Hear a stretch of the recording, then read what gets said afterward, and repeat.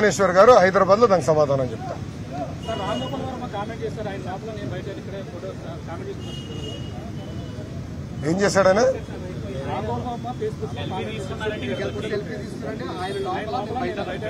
సమాజానికి ఆయన ఏం చేశాడండి? నేను అడుగుతున్నా. చంద్రబాబు నాయుడు గారు పదిహేను లక్షల మందికి ఉద్యోగాలు కల్పించారు. ఒక సైబరాబాద్ తయారు చేశారు.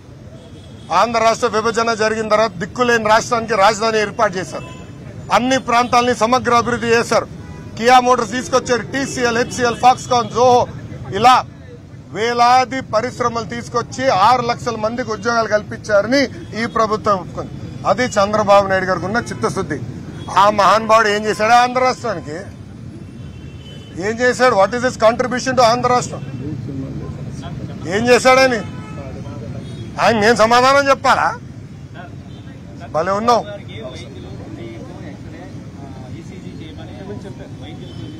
అధికారులు అక్కడ లేదు అవసరం లేదు. వీళ్ళు చేయించలేదని నిన్న కూడా అడిగి చేయించారంటే చేయించలేదు.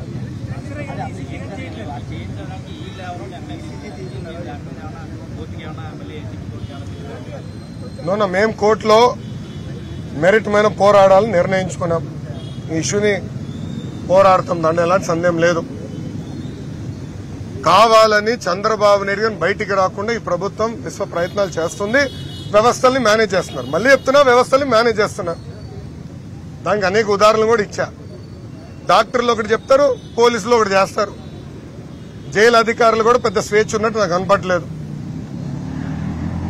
నేను లోపలికి వెళ్ళిన తర్వాత కనీసం పదిసార్లు ఆయన ఫోన్ వచ్చి ఉంటుంది. రాహుల్ గారికి. ఎవరి దగ్గరికి వచ్చినా ఆయన సమాధానం చెప్పాలి కానీ కనీసం పదిసార్లు ఫోన్లు వచ్చి నేను గమనిస్తున్నా మొత్తం. సో అన్ని వ్యవస్థలు మేనేజ్ చేస్తున్నారు డాక్టర్లు